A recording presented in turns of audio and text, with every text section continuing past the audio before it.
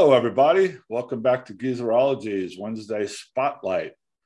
Today, we are going to talk about uh, this kind of it's an it's an obscure I guess you could call it an obscurity from 1974. It's an album called Phantom's Divine Comedy, Part One.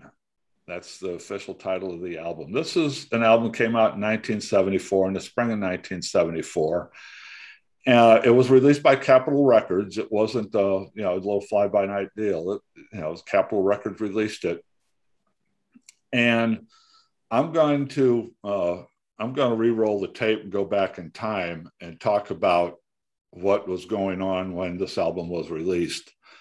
Um, I don't remember the exact month, and there's not a whole lot of information online about this album so I couldn't find the exact release date of this, but I'm pretty sure it was sometime in the spring of 1974. We do know it was 1974. we we just don't know exactly what date in 1974. This was an album that was released among a little bit of fanfare. Uh, I remember reading about it when it was uh, when it was released. This guy, uh, I want to show you the cover of the album here. Uh, that's my original copy that I bought in the spring of 1974. This ostensibly was Jim Morrison. Now, this is two years after, after Morrison died, three years, actually, three years after Morrison died. And this thing appeared, and the whole thing was there were, there were rumors going around that this was uh, Jim Morrison come back from the grave. You know, there were all these rumors that uh, Morrison didn't really die, that you know that he went uh, he went that he actually disappeared to Africa and started running guns or, or something like that. But anyway, this thing this thing just came out of nowhere. Phantom's Divine Comedy and by Capitol Records, and and and it was and it was supposedly Jim Jim Morrison returning to uh, to recording. Uh, there were those rumors for a while, but uh, uh and when it came out, there's there's there are no credits on this record. Uh, vocals, guitars, and piano were done by Phantom. Drums and percussion were played by X. Bass was played by Y. Piano and organ was played by Z. And Phantom also played uh, background guitar and piano. It was produced by somebody named Erg Treuthed some some sort of some sort of made up name. There was one name. There was one real name that gets credit on this album, and it's uh, mastered by Bob Dennis right there. I, I, that's probably too small to see. I'll get a photo on the uh, post production so you can get a closer look at that. Uh, but yeah, it was it was uh, made by Capitol Right. Anyway, so there were these rumors that this was Jim Morrison uh, just coming back. He wanted to record, but he didn't want everybody to know that it was really him. So he made up all these names and everything like that. Uh, some people said that it was a there was one rumor that that this was actually a solo album that he recorded while he was in Paris before he died and then uh, Capitol Records got a hold of the tapes and released it but anyway so this thing came out I ran out and bought it uh, I, you know, I mean, I was skeptical of all this stuff, but it's like with, but with all this buzz that was going on around it at the time, and the, uh, I, I, was, I was reading Creem magazine at the time, I was reading Rolling Stone at the time, so, so somewhere in there, I, I was read about this album. I went out and bought it. I didn't, I didn't buy the hoax, but I, of course, I wanted, to, I wanted to hear this album anyway. Bought it, brought it home, uh, and the singer, whoever he was, there are a few spots in this record where he does a pretty good Jim Morrison imitation. You know, it's, it's obviously not the Doors. This is more, this this is a little more hard rock. Uh, these are in the days before before heavy metal was a thing. When it was just it, it, this is during the days when we were kind of transitioning from from what we called hard rock into heavy metal. This is sort of in that transition period after Black Sabbath had been around for a while now. Uh, but anyway, uh, it obviously wasn't Jim Morrison. Obviously wasn't Doors. Wasn't the Doors because it's only there are only just a few spots in this album where he does pull off a pretty good Jim Morrison impression. Uh, the rest of the time, but anyway, but but it, it's a pretty good album. It's a pretty good album in the hard rock genre. It's just it's just not a Doors album, and it's not a Jim Morrison album, right? But we'll we'll talk specifically about the music in this album after after I get through the story. So uh, recently, so anyway, this album disappeared. It went out of print, and Bob and I were talking about uh, three or four months ago. We were talking about uh, maybe doing a, a piece on this album. But then I got to looking around, it wasn't available anywhere. It wasn't on any streaming services. I couldn't find it on YouTube or anything like that. I'm going, well, yeah, let's let's not do it because it's like the, the people can't go out and and listen to it. And then about eight weeks ago, we started talking about it again. And I said, no, it's not available anywhere. And Bob looked on Apple Music and saw that it was released on, it's on Apple Music. And I went and checked this on YouTube. Well, it turned out this thing's been re released within the last seven or eight weeks, just out of nowhere. I mean, there's been no announcement of it. It just appeared in a remastered version. It's labeled as a remastered version. And, uh, uh, and now it's out there. So we said, okay, let's talk about it. So, uh, so I went in and started looking for some information on this record, and maybe if we found out who this guy was or anything like that there is no uh, there is no source material on who this guy was or what he was. All that there is really out there are a few blog posts from back in the mid 2000s of, of a blogger or somebody who uh, who saw an interview somewhere with the guy who actually uh, who actually produced this album or saw a couple of I saw an interview somewhere with a guy who goes by X who was the drummer or something like that. So there's no source material. There's just rumors out there. But the story, as best as I can pull it together from from what little information is there, is that this is a guy who used the stage name Arthur Pendragon. If and and those of you who uh, who who know classic literature, Arthur Pendragon is the name of, of King Arthur from King Arthur and Round Tables. But but anyway, this guy he, he was he was uh, he was somebody out of Detroit. He came. He was he was he was part of that whole Detroit music scene that included Iggy Pop. Uh, you know, uh, Ted Nugent was around then. Bob Seger was around there. That whole late '60s, early '70s, uh, uh, when when uh, when rock uh, when hard rock bands were really flourishing in Detroit and, and, emerging out of Detroit, this guy was part of that scene. And and uh, uh, I've I've found a source that says his real name was Ted Pearson, who was and he was and he was a fairly well known guy around Detroit at the time. Another source I found said that his name was Tom Carson, but that was only one source. I found I found three or four different places where his name was Ted Pearson. Uh, again, went by the stage name of Arthur Pendragon. After this happened, he started going by this. He, he, he adopted the name Phantom as his name. Uh, he was a real guy. He was around, and I did find there were used to, John Densmore has a website. John Densmore used to have a uh, you know a fan forum, you know, forum, like a bulletin board. The old you know old, before social media, we had bulletin boards, right? And on John Densmore's website, there was a bulletin board. Densmore didn't. Uh, and, and, it's no longer there, but I did go back to the uh, Wayback Machine, the Internet Archive, and I found this. I found this uh, page, and there's somebody on there who posted in this fan forum. He gave a little he, he gave a little deeper story about what this was. But he just got it from rumors and other inter- and, and interviews that he read in this magazine or that magazine or whatever. Uh, he said that uh, this band uh, the name of arthur pendragon the name of his band was walpurgis. Uh, which uh, which Wal- Walpurgis has something to do with. Uh, I, I, think it's it's a Europe it's a European version of Halloween, basically, is what Walpurgis is. Uh, but anyway, uh, Walpurgis actually recorded an album, supposedly, uh, in 1973, the year before this came out, and it never got any release. It didn't sold. Nobody picked it up. uh, and an album appeared by some small label just out of nowhere in 1990 called Phantom: The Lost Album, which was supposedly this band Walpurgis 1973 album that somebody got a hold of and released. There's some dispute over that.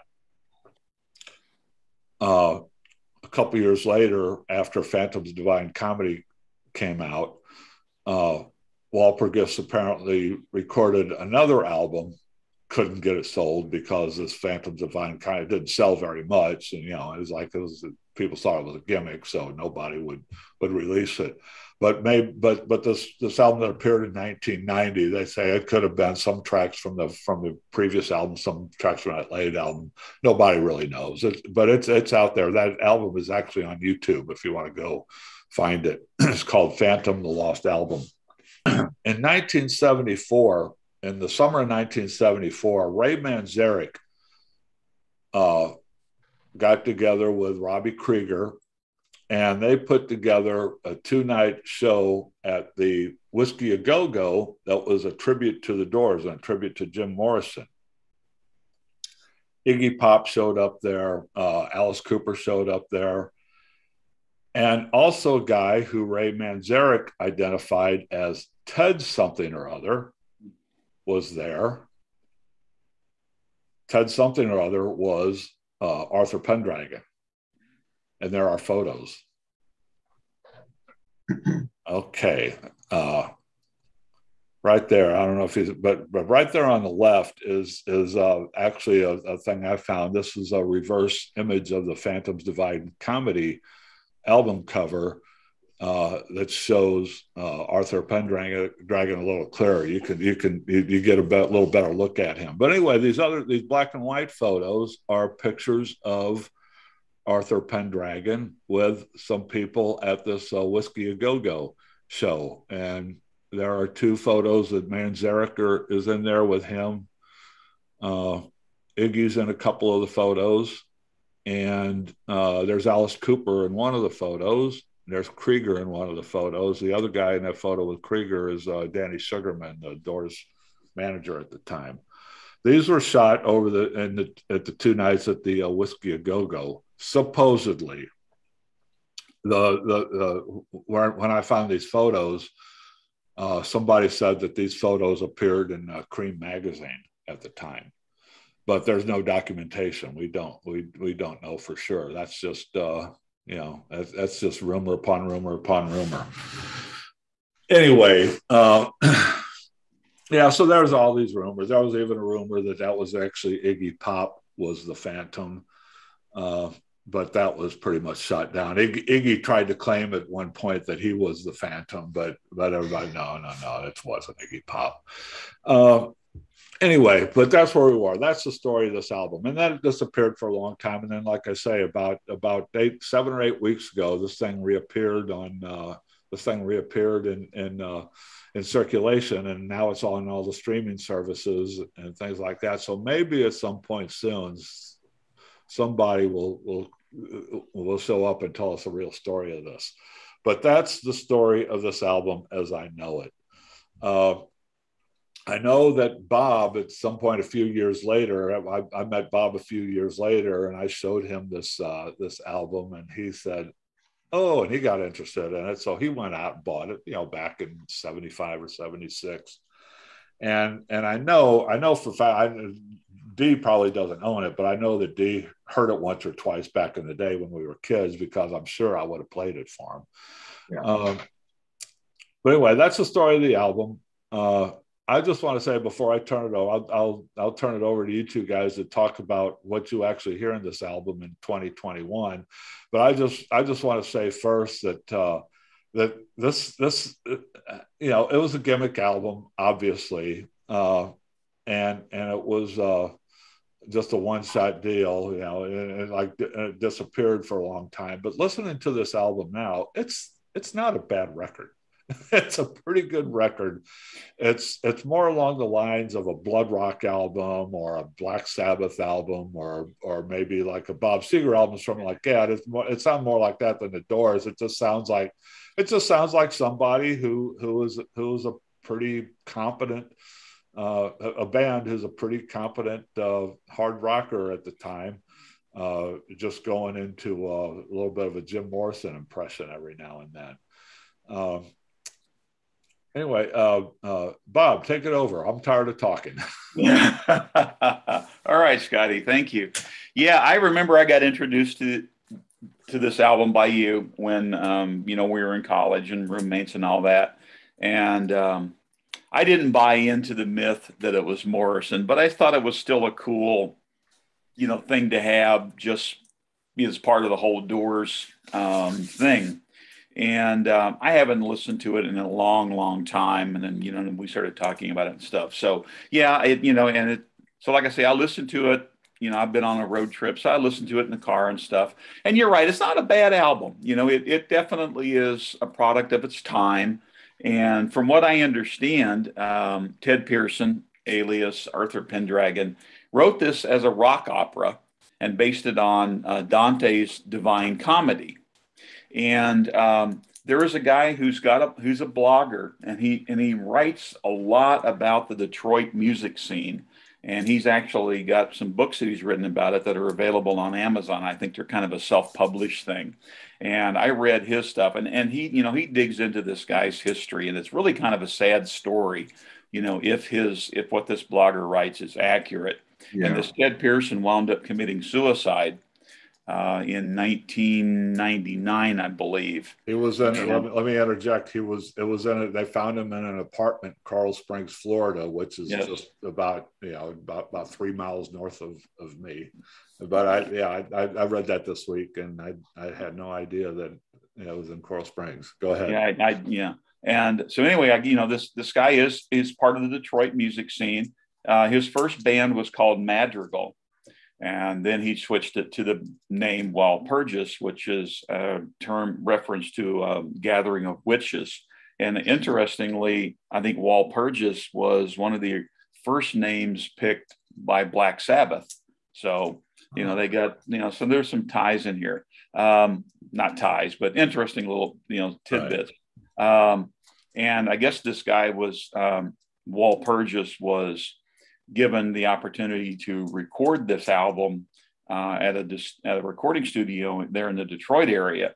And I guess they were like, yeah, you can come in when nobody else is doing this. And according to this blogger, the um, the guy who owned that studio took the music to Capitol, and Capitol got it. And then I don't know whether Capitol intentionally said, "Hey, we're going to try to milk the Morrison thing or not," but um, you know, that they Capitol put it out as the Phantom, whereas originally it was supposed to have been under the Walpurgis name as you know Divine Comedy. So, um, what I would I would love to know more about this because it's like I would love to know how that happened without the guy who wrote the music okaying it.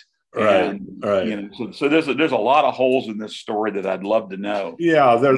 Right. You found you found some details that I, I that I didn't stumble across. What I yeah. I did see something. I did see reference at Elektra Records when Elektra Records heard about this, and they actually heard an advanced copy of this. Elektra Records actually uh, sued Capitol Records, trying to uh, trying to trying to block it, and uh, because they thought that they were, you know, because they saw what how they were marketing it and everything, and and and the Doors name, and they then they were trying to block that, and they came and they came some came to some sort of agreement, and part of the agreement was that that that they were they were not going to uh, tell the world who this really was and who the songwriters were, and they were going to market it as a goof. And that so that so that was part of the settlement. That Capitol Records was just going to market it as a as as a goofy little thing and not a real and not a real thing. Yeah, and and this this blogger also contends that Danny Sugerman, you know, who was part of the whole Doors organization, actually reached out to Ted Pearson slash Arthur Pendragon because he was thinking, hey, this guy could be the new vocalist for the Doors. And supposedly that's why Pearson wound up there at the Whisky a Go Go, because it was kind of supposed to be kind of an audition for him to be the new Doors frontman. And I guess that didn't work out. But this blogger also has on his page has a reproduction of pages from Creem magazine where you got some of those photos. And there's a story in there where there's a shorter article where it's an interview with Ray Manzarek. And Manzarek talks about that night at the whiskey, and it was called Jim Morrison's a Jim Morrison Memorial Disappearance Party. And um, Manzarek claimed that this Pearson guy did a version of um, Riders on the Storm and then Iggy Pop came on and did um, Maggie M'Gill and Backdoor Man, and Pop Iggy Pop was in leather pants, and I supposedly really channeled Morrison. So, um, but I remember the rumors at the time that you know. Uh, that you know obviously was Morrison and all that stuff. Then it segued into, oh no, this is Iggy Pop, and lots of different rumors floating around. And this was the same era, you know, we had Paul McCartney is not dead, and and all of those kind of rumors going on. So, um, you know, you mentioned this earlier. It's it's pretty obvious if you really listen to it. It's not Morrison. You know, I think like the first song, um, it starts out. You go, wow, man, that could be Jim. You know, but it doesn't last long, and then right. you know it, the vocals change, and there's one or two songs on the album where it's pretty consistent. You know, he's he does sound like Morrison, but you know the the the music is and the subject matter. You know, this guy obviously was really into his um, Elizabethan mythology and the and the Merlin and King Arthur and all of those things, and you know that was never something that Morrison was into. So I like I say, I never bought into it but it is a fun thing to listen to, you know. And I've turned some people onto it over the years. It's like, hey, you know, if you really like the Doors, man, you got to check this out. It's just kind of an interesting thing. So um, I wish I could knew. I wish I knew more about the real story of how this all happened and what what this did to the guy. I know that the blogger talks about all the things that happened to him later in life, you know, that led to his unfortunate suicide. So it's kind of a sad story that, you know, then the guy could never get any traction, you know, as, as a real rock star. But it's, it's an interesting piece of uh, rock and roll history. And um, I also want to mention um, the whole Morrison is not dead thing, I think led to the movie Eddie and the Cruisers. You know, oh, right. Yeah, right. Yeah. You know, because, and I, and I think that had to have been modeled on the than the mythology of Jim Morrison faking his death and right, disappearing. Yeah, yeah. You know, so but uh, you know, I, I, would urge, I would, I would really encourage people to go to Apple Music or whatever streaming service has and listen to it. It's, it's an interesting album. It's not terrible. It's not something that I would have on regular rotation, but it's not horrible. You know, it, it's definitely a, a product of the '70s. Um, but it's not horrible. It, it's a fun listen, you know. And and what I would love to know, and I'm, you know, and I've tried to find this out, and I haven't found any source material, is whether the times that he sounds like Morrison. I wonder what was it intentional? I mean, did he really do it on purpose, or was it just an accident? Because he's got a couple different vocal styles on here. So yeah, I've got, that's I've my got, big question. I've got a theory on it, but I'll you know I'll I'll, I'll give you my theory on that. Uh, let's let's give D the floor and and hear what D has to say about this thing. Before. well, there's not much to put in since Bob went through that comprehensive uh, of, of uh, litany of footnotes there. Sorry, so, Dan, I didn't mean to steal your thunder. no, no, that's okay because obviously we're reading the same sources. Uh, I was going to bring up about that one blogger who mentioned uh, you know, through this whole thing, yes, uh, you know, as a as a musical thing, it's a product of its times. It it had there's you know, I, I would say the musicianship is pretty competent. And yes, this guy Ted Pearson, aka Arthur Pendragon, does conjure up some some of Morrison's vocal qualities. Yeah, there's a, a, little uh, sort of a mysterious quality to it, but anybody that's listened to the Doors for any length of time knows even by the end of the first song, that's not Jim Morrison. And then as you go into it farther, the writing, the, the topics, you know, Morrison never wrote about wizards and Merlins and things like that. he was a lot more earthy when he felt like, and he, and he could be, you know, poetically mis, uh, obscure at the same time. But yeah, it, it's kind of a fun album. I mean, the guitar work reminded me as a cross between Black Sabbath and Iron Butterfly, uh, with that controlled, distorted fuzz tone and and all that. Um, I think they must have.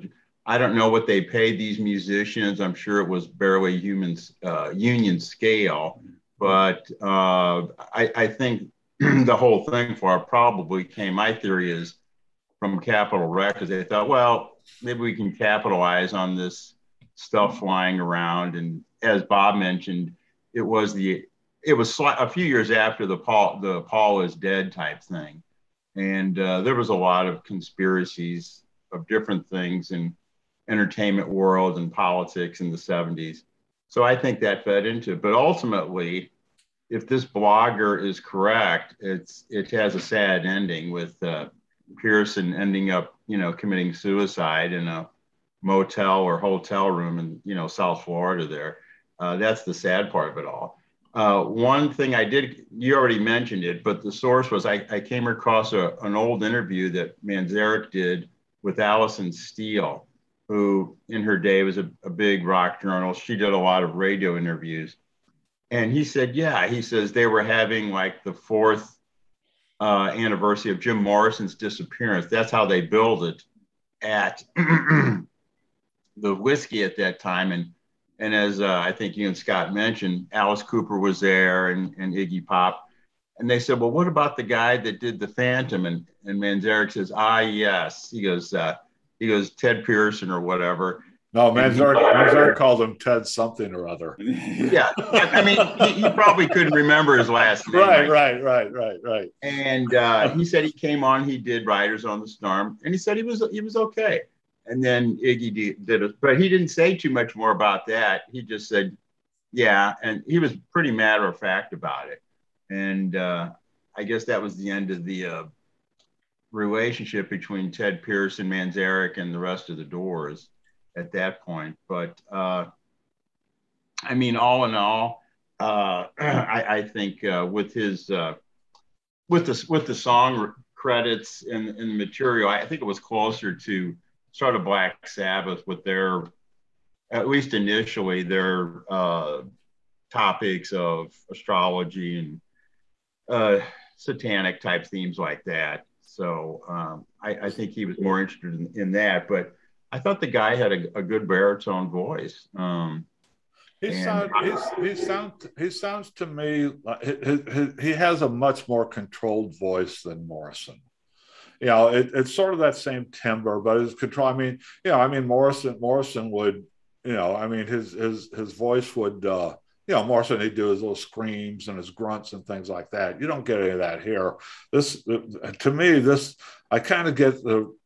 I was I was trying to figure out a way to describe it. His he he sounds like every once in a while he sounds like crooner Jim Morrison yeah, closer yeah, you know, you know, yeah. because it's just that controlled, uh, you know, pleasantly tenor voice that that that he it does it he, he does sound like Jim Morrison here and there, but that but he sounds like that Jim Morrison, the, the crooner Jim Morrison, not yeah. the uh, you know, not the screamer and not the uh, and not the emotive Jim Morrison, right? Yeah, exactly, exactly. So yeah, I really I don't have much else to add as, as far as that. And uh, yeah. yeah, it, it, was, an interesting listen. Uh, I mean, if it was released today, I don't think it would go anywhere, of course, but uh, um, it's it's. Uh, I think it was probably a craven attempt by Capitol Records just to capitalize on a lot of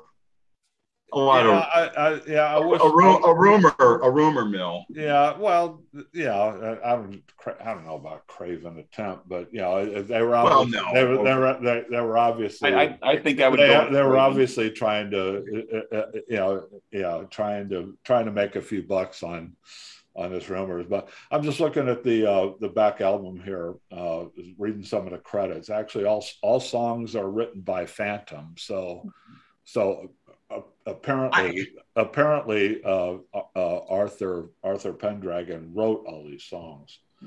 Well, you know Arthur Pendragon or Ted Pearson, I guess Capitol felt like they couldn't sell any records using his name or any of the musicians' names. That the only way they were going to sell any copies was to kind of put it under this guise of maybe it's Jim Morrison, maybe it isn't. What what the, the oh oh absolutely absolutely absolutely. I don't think and I don't think I don't think Capitol Records had any intention of of of of making a uh, of of of trying to make a star sell any records by the band Walpurgis. You know, know, they, they, they, were they were they were strictly capitalizing on the uh, on the Jim Morrison fever when they got yeah. this, you know. Well, you know what? The, the thing I still really want to know is whether Pearson slash Pendragon went along with this.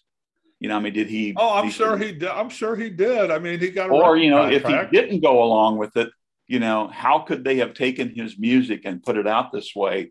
You know, without his approval. So that that's that's a burning question I've got. And if he if he agreed to it, why would he have agreed to it? Because it's like, you know, he's not going to get any credit. He can't tour with it or anything. I mean, you know, so it, it's, it's, it's, um, a foot, it's, a foot in the door. I don't, I, you know, I mean, I don't know. We, we know, don't, we don't, we don't know. We don't know. My, my I know we don't know, but it's like, well, I might, if I was, and I don't know, maybe I'm just projecting here, but it'd be like, okay, well, if my music's good enough to put out, it's good enough to put out under my name. But, you know, so I agree with Dan. I think it was Craven thing on the record company, you know, because uh, could would his album have sold without this, you know, rumor mystique floating around it? Well, absolutely not. But they wouldn't even. But they wouldn't even. They wouldn't have even uh, released it without that. You know, I mean, so I guess maybe maybe me, that's a whole reason. You know, that's a whole reason this this this record existed to be. I, I, I think. Uh, yeah, this was this was obviously done as a uh, uh, as what you know at the time concept albums were were just emerging at the time. This was obviously done as a contact album as a concept album. Uh, cause I'm, I'm reading again the, the back cover of this thing, and and each side is actually split into like four, I guess you call them chapters, right? Uh, chapter one, labeled as intro, is just the first track, Tales from a Wizard. Okay. Labeled as chapter two, Prelude, are the tracks Devil's Child, Calm Before the Storm, Half a Life, Spiders Will Dance on Your Face While You Sleep, which is actually a pretty cool song. the second side, chapter three, uh, is called Wizard, and uh, those tracks are Black Magic, White Magic, and Merlin. And then chapter four, to close it, are the two tracks Stand Beside My Fire and Welcome to Hell. Uh, yeah, this I, again, this this this album is uh, it's it's probably more Black Sabbath than it is the Doors, you know, because it, it's just it's just, it's just that it's just that aggressive, bottom heavy, rhythm heavy uh, uh, hard rock, what we called hard rock, you know, that, that, that, was, that was, that was slowly, that was evolving at the time into what we later uh, learned, started calling heavy metal, right? Uh, you can almost call this proto metal, you know, is sort of a prototype for, you know, part of that prototype for what heavy metal became. Um, there, uh, keyboards, uh, uh, Phantom is uh, credited with piano, but you don't hear much piano here. It's just, it's just all uh, lead guitar, uh, uh, bottom heavy bass, and just a pretty aggressive but standard uh, drum drum rhythm section. Uh, the only other thing that, I was thinking about when I was when I was listening to this is the guitar player. This is uh, I got the feeling that, that, that I started thinking that I started thinking Tony Iommi, right from Black Sabbath. This guy, this guy is, as Dee mentioned before. There's there's a lot of Tony Iommi here. somebody would have told me that uh, uh, that who's oh, oh, Phantom Phantom actually plays a guitar on this, but if if somebody told me that this guitar player was actually Tony Iommi in disguise, I would have believed it because it does sound it, it, it, this this guitar playing sounds more like Tony Iommi guitar playing than than than than the vocals sound like Jim Morrison. Okay. Yeah, I, I go along with that. through the throughout the whole thing. Uh, but there are a couple songs on here, like the song "Calm Before the Storm." I thought, uh, what's was the third track in the album? "Calm Before the Storm." That's where it sounds more like Morrison. That almost that almost sounds like it could be an outtake from an early Doors album you know, if, if, if you didn't listen to it too closely, it, it could have been a Doors song. But at the same time, there's a song on here called Half a Life, which sounds like it could have been an outtake from a Bloodrock album. and, and, and it's pretty good. It's, it's, it's definitely competent. You know, it's not, it's yes. not bad. It's competent. I mean, these guys, uh, these guys who play on this, I mean, they were, you know, they were professionals. I mean, they sounded good. They knew what they were doing. They knew what they were playing, and they were pretty good at what they did. Uh, but uh, uh, you know, it, it's sorry to interrupt. Scott. Yeah, go, go, ahead, Scott. Uh, go ahead. I was going to say it's a little bit of a of a shame for Ted Pearson if that is his real name and all that. That he, you know he was used this way, but I do believe you know, had they just released it, uh, or maybe a subsequent album as Ted Pearson and had more of a variety of material, I think it would have been good enough to, you know, release. Uh, so, suppose, supposedly, supposedly, this band Walpurgis did record an album after this. They couldn't sell it. They couldn't sell it, and that's and and and and then this thing that surfaced in 1990 called the Lost Album. There's some reports that it was that album that they recorded as Walpurgis a few years later. There's other reports that it was the album by the band Walpurgis that they recorded before the Phantom album. So, but you know, I, I can't find any definitive uh, any definitive information of what that actually was. Okay. Well, just the, rumors, uh, just rumors. the the blogger that we've all been referencing uh-huh. just just to be official. The gentleman's name is R. D. Francis, and he has a book. Um, and the book is titled Tales from a Wizard The Oral History of Walpurgis, the band behind Phantom's Divine Comedy, Part One. And on his, I so I, you know, I went through his initial blog post about this.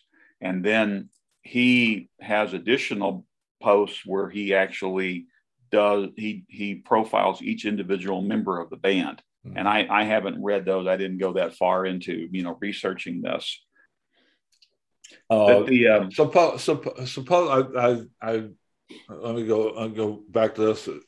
One theory on the uh, origin of this album is that uh, there was a at, at one point uh, there was an interview with a guy who was a uh, producer up in Detroit, you know, who who did a lot of this work. And the guy is Gary Gary Gawinek, G A W I N E K, uh, out of out of out of Detroit, who uh, who we think was a producer of this album, produced this album, and actually, it actually it was all done in in Detroit at the time.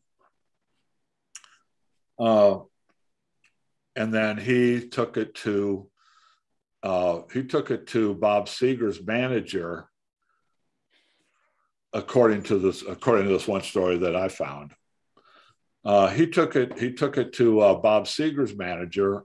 Well, it turned out that Bob Seger's uh, manager had had some uh, not pleasant interactions previously with uh, Ted Pearson.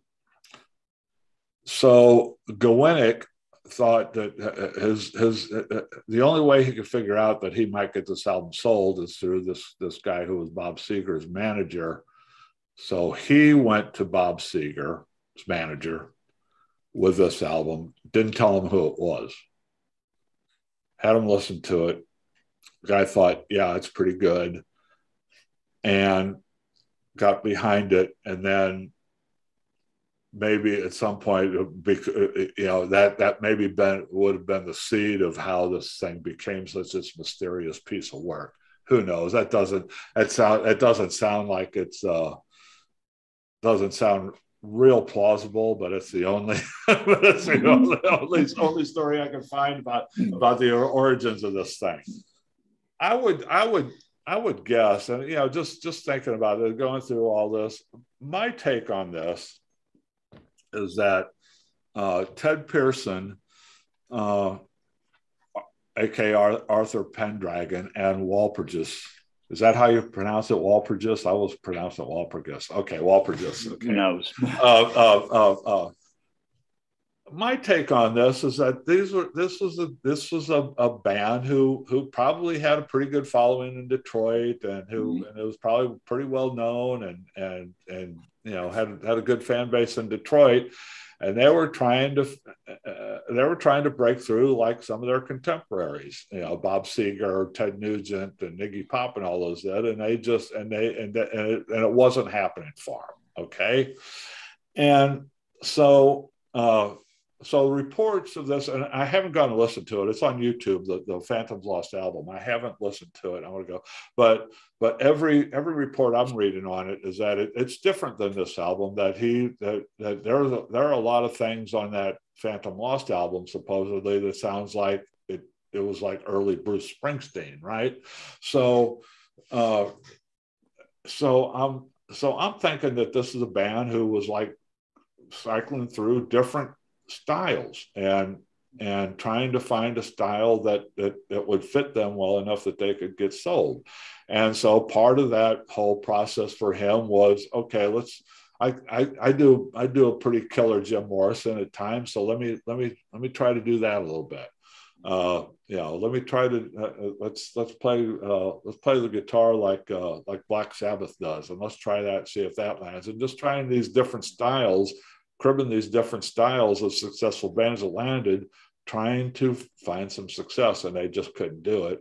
And then it's just on that one little thing that he did, doing his little Jim Morrison impersonation, that uh, that somebody at Capitol Records and whoever said, "Oh yeah, I could I could do something with that," and this is what they did with that. And then when they went, and then they went when they went back and followed up, people said, "No, we're not interested."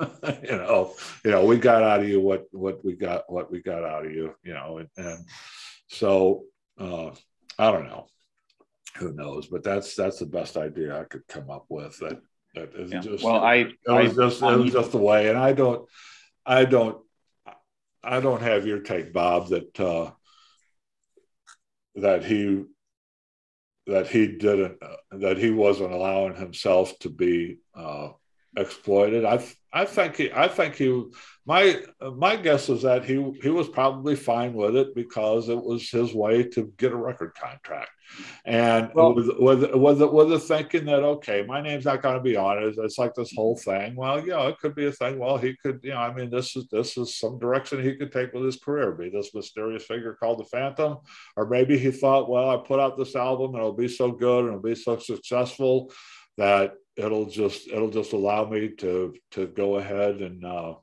uh, and and and do what I want to do later. You know, it was, it was basically his foot in the door. Yeah. You know? Well, there's also, uh, and I and I don't want to beat beat up on the poor guy, but mm-hmm. I kind of have to wonder if if he wasn't just copying or anything he could find out or hoping something would stick because um, I, I, I, I, learned earlier this today that Wall Walpurgis was the original working title of Black Sabbath's War Pigs. Yeah. And, oh, I don't know. Oh, I, th- I think that's definitely what he was. I think he was just trying. I and, think he was um, just grabbing different the, um, styles from different people. The Lost album that you're referencing uh, is on YouTube, and I just took a real quick look at it, and I I, li- I started listening to it a little bit this morning, and the first cut on that is a song from Divine Comedy and the, the, the notes below it say something about that basically it's a collection of demo tapes. So it, i don't know if it was an actually a definitive album oh, you know. okay. yeah. you know but i haven't I, I, just started playing it and i was like oh well that's the song from you know divine comedy. So i didn't go any farther into it. So i don't know what else is is there. It's like 30 some odd minutes you know so it's oh okay. Yeah but actually, Scott, I think your theory on that, how uh, I think it's pretty plausible. You know, uh, these guys uh, with along Ted Pearson, you know, trying to break through on a national level. they kept trying the styles, and you know they got an offer to record, and of course, I don't think Capitol put a lot into the marketing of this. No, no, no, no.